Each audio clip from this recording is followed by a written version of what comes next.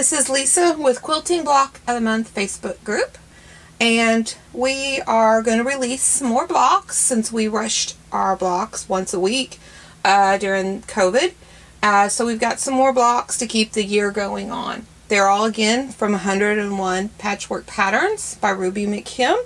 This block here is called Rob Peter to Pay Paul, uh, which is real fun. It does have curves but as you can see, you kind of have a little circle here. And if you put a whole bunch of these together, you would see additional circles as you're looking at it. So because this is cut on circles, we are going to do the traditional way that they did it um, back then. And that is by using a template.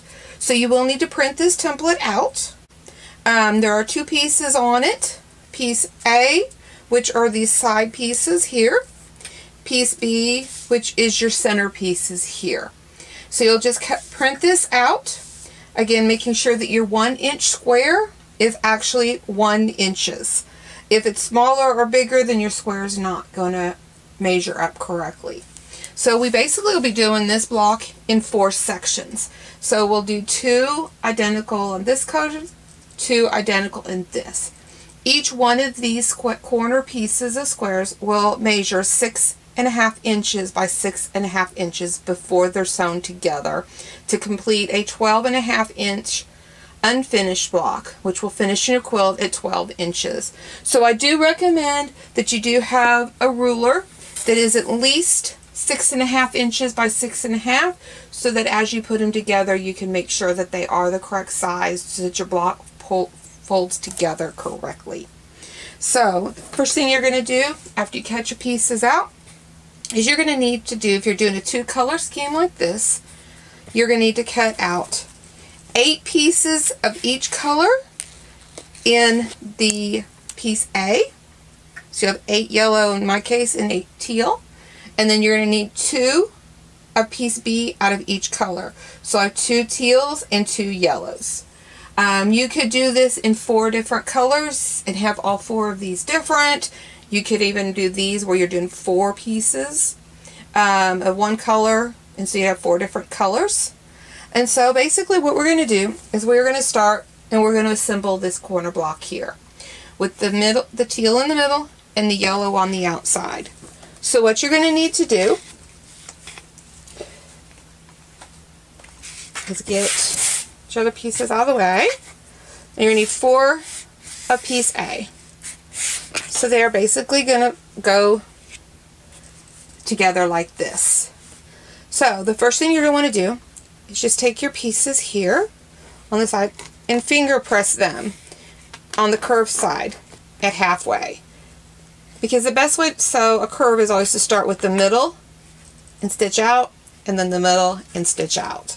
So if we do all four pieces like this and press them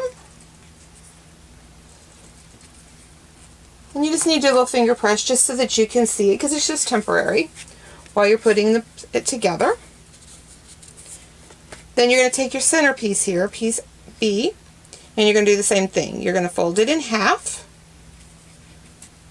match it up, and you're going to want to press these outside edges here. You don't have to press it all the way across unless you want to, but press them out. So you got two little there, then fold it the opposite direction. Fold it, and again, just kind of finger press it there. Then you open it up, and so you've got your four center marks here. Now, as you do press along the way, because we'll do one side at a time, you may have to repress these, or you could just get a little pin and just put a little tiny mark on the edge there, just so that you know which would be in the seam allowance, just so you've got it. Um, so the first thing we're going to do is we are going to take one piece and we are just going to ma match it up at that center point. Now I do recommend using pins to hold it together versus using the clips just because the pins to me hold a little more accurate. So what you're going to do is you're just going to go from the middle and you're going to go outward and you are just going to match the seam up and just put your pins. And then just continue all the way around.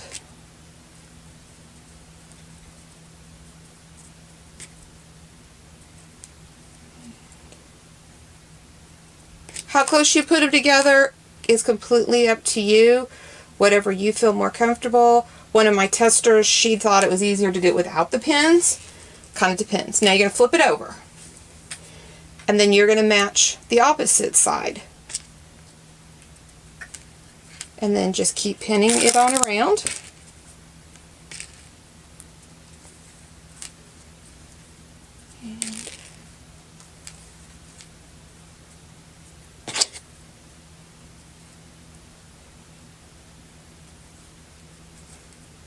Again, just pin however you're comfortable. The reasoning for putting it like this is you're going to sit at your machine and you're going to start from the center and you're going to stitch out. And if you're like me, I'll be stitching here and I'll go all the way out this direction. Well, instead of trying to sew this way, you can flip it over, start in your center, and stitch your way out this direction. It's always best on a curve to start in the center and work your way out because you are stitching on bias and the fabric does pull. And if you start here, you may end up with it clear out, sticking out over the end, and then your piece is offset, or you may not have enough. So it's always best to start with the middle, sew one way, flip it over, and then stitch the other direction. And I will show you how I do that on the machine. Okay, so now I'm at my machine, and as you can see, I've got the pins on one side here, and again, if you flip it over on the other half on this side. Because as I'm going to go along here, what I'm going to do is I'm going to start in the middle, and I'm going to stitch out. And then I'm going to pull these pins out as I stitch along, because I don't want to stitch on the pin. So, just line it up, kind of about in the middle point and you're going to want to do a quarter of an inch seam allowance all the way across. So we'll just start and just take it as slow as you need.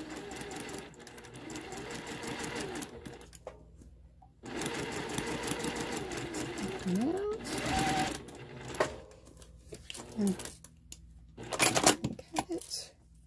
and then you're going to flip it over to the other side. And so you've got your seam over here. Now what you're going to want to do is want to go do a few stitches over the other stitching so that it kind of locks that thread. And so we'll just start there. Oops, stick it on the other side, get it out. And we'll just go around. And as I come to those pins, just going to get them pulled out. Again, sewing a quarter of an inch seam allowance.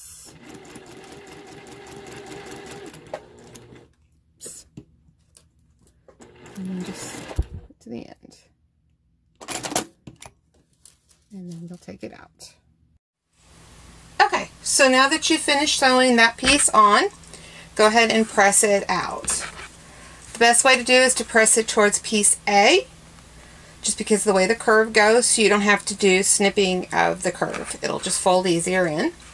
So now what you're going to do is you're going to match up the opposite piece to the center. And you're going to do the same thing. You're going to get it match up the middles, pin it, pin it all the way around one side, flip it, pin the other side, just like you did on this piece here. And then you're going to sew it. And then you're going to have a piece that is like this. So now you've got part of your block done. Now is a good time to be checking your seam allowances. Um, it's best to do one block, make sure everything works together smooth, that your seams are done correct, and then continue on. So this is where you can take your ruler, find your six and a half inch line, line it up over here on this side here, then look over here to the other side. My six and a half inch, I get just a little bit hanging over the edge here, but that's okay. I can trim up the block when we finish sewing it all together, this piece together.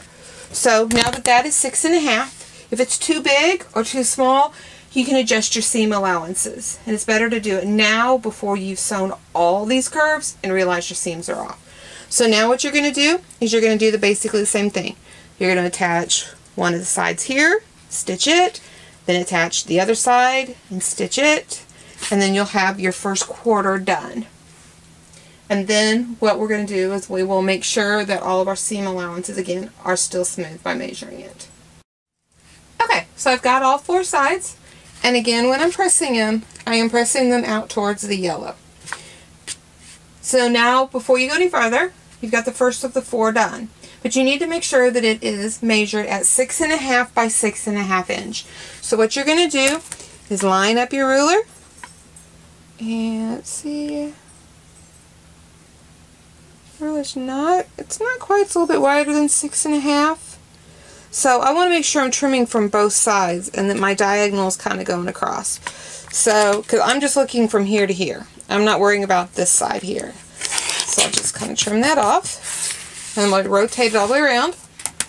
Line up my six and a half back over here. And then I've got a little bit over here to trim off. So I'm doing both. Then I'll rotate it one quarter this time. And make sure that I've got six and a half inches that way. So both sides are good. So now my block is six and a half inch by six and a half inch. You don't need me to do four of these, but you want two in this color scheme. So you'll have two identical. And then you will do it in the opposite, your other colors, with the yellow in my case in the middle, and the blues around the outside edges. And I will just do it the exact same step. Press one on each side, then on the other two sides, then square it up, and then do the other side. Like I said, once you've done one and you know that your measurements are right and your seam allowances are good, then you can go ahead and finish the one, then do all three kind of together.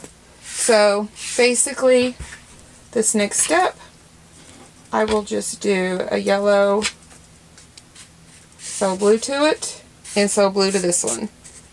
And then I can go ahead and then I can do the other sides of them and then press them and then add the other two sides to those. So I'll go ahead and put these two pieces together and then we'll show you the final assembly. Okay, so I've got all four of the pieces sewn together. We've got two with the teal in the middle, yellow outside, two with the yellow in the middle and the teal on the outside. And we're just going to arrange them in the order that we want them to be. So I've got my yellow centers opposite of my each other and my teals opposite of each other. And so the next thing we're going to do, just fold these over, and we're going to sew a quarter of an inch seam allowance between both sets here. Okay, so I've got them sewn together, the two sets here. And I've gone ahead and pressed them towards the teal, just so that I can nest my seams. So now I'm just going to fold these two together, and I'm going to stitch a quarter of an inch seam allowance down the side here. Okay, so I've gone ahead and I've sewn those together and I've gone ahead and pressed them and so I you have I have now completed the Rob Peter to Pay Paul Quilting Block of the Month for August of 2020 for Quilting Block of the Month Facebook group. You kind of start to see where the curves are starting to turn in there. If you add another row to it, you can kind of see it even a little bit more on the circles to where they're starting to form. And so it depends on how many blocks you want to put together. You can make a whole quilt out of it. Um, make sure that you take a picture of your block and post it on our Facebook group so we can see everybody's combinations and how everybody's blocks look. So thank you again for joining us for this additional block for August of 2020.